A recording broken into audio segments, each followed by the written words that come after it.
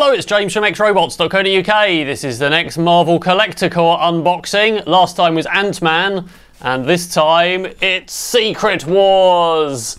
So I've actually already had a sneak peek in this, so the tape is already cut. But let's have a proper look.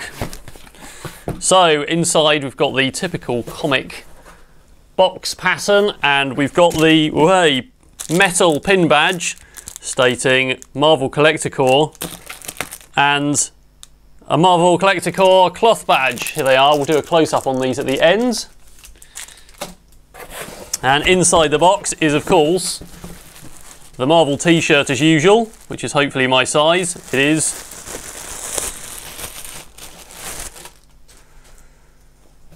There we go. What's on this? Secret Wars and various characters which are actually pictures of pops, which is interesting on that one. So that's good, and this box is in association with Funko, who of course make the vinyl pops. Right, we've got the comic, which you get in every edition. The piece of card to keep it flat.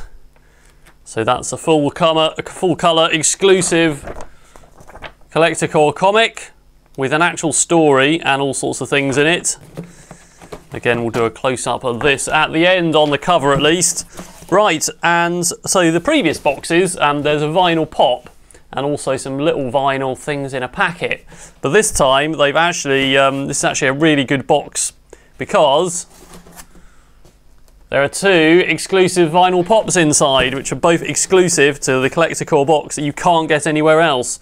So this one appears to be the Thor Secret Wars. Uh, Secret Wars. It looks like the uh, female version of Thor, as per the character change for the new comics.